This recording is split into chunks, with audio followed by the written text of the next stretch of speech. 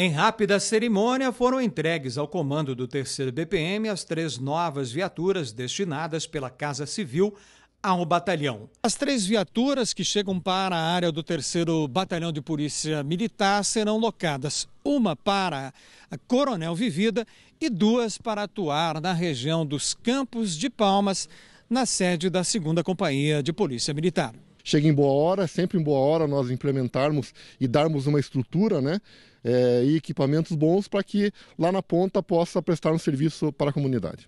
Coronel Zoac representou o chefe da Casa Civil, Guto Silva, na cerimônia de entrega das viaturas. É um esforço do governo do estado, o governador Ratinho Júnior, na questão de renovação da frota da Polícia Militar, transformando a nossa região aqui numa região mais segura ainda, com é, equipamentos de trabalho condizentes com a necessidade e com a realidade da, da nossa situação de segurança aqui na região.